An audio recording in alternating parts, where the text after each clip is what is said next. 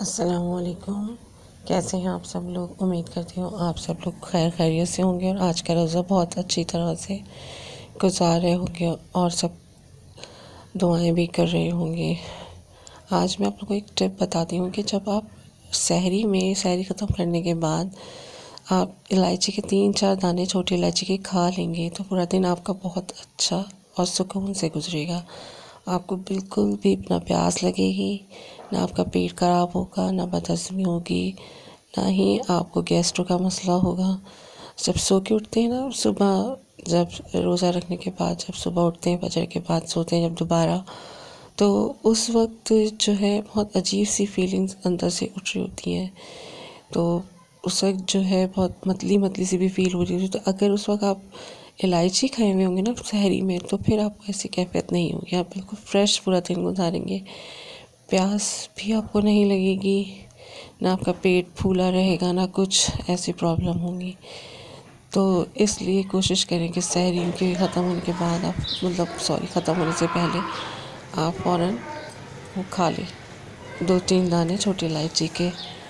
और उसके अलावा ये है कि पानी बहुत नहीं पिए, बस नॉर्मल पिए।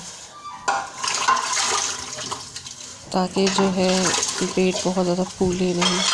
दूसरा ये है कि आप जो है, कभी खुदा खासा पेट में दर्द उठ भी जाए आपके रोज़े में तो आप रोज़े को तो आप अपने सीधे हाथ को अपने पेट के ऊपर अपनी नाक के चारों तरफ़ गोल गोल घुमाएँ और यह हफीज़ों पढ़ें तो उससे भी फ़ौर दर्द और तकलीफ़ जो है वो कम हो जाती है इंसान की।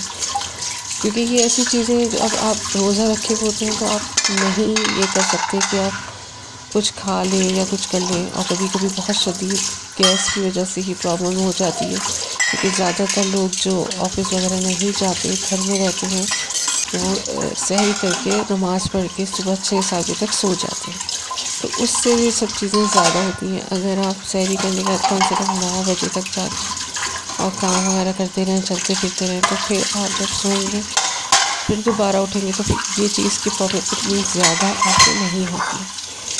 उम्मीद करती हूँ कि आप लोगों को मेरी वीडियो पसंद आ रही होंगी तो प्लीज़ मेरे चैनल को लाइक करें, सब्सक्राइब करें और बेल आइकॉन को भी दबाएँ, क्योंकि आप ये सब जानते हैं कि आजकल लोगों के लिए इतना मुश्किल है सब कुछ, लेकिन फिर भी कोशिश करके इंसान अब किसी न किसी तरीके से अपनी गुजर अवकात करता रहता है।